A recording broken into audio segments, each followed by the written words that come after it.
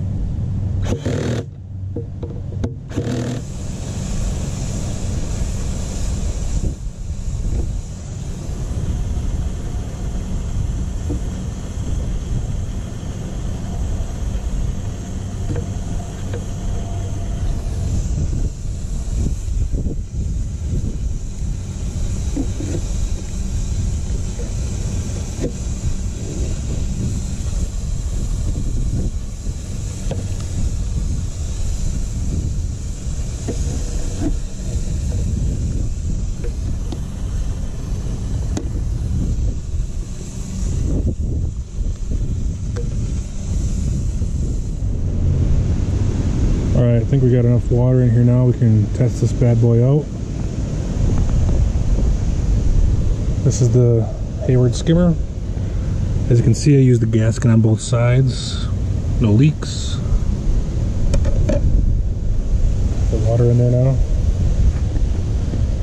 I just used the uh, kept this connection on here. Turn that off.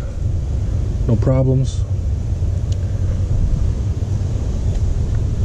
As you can see, upgraded to the uh, sand filter here.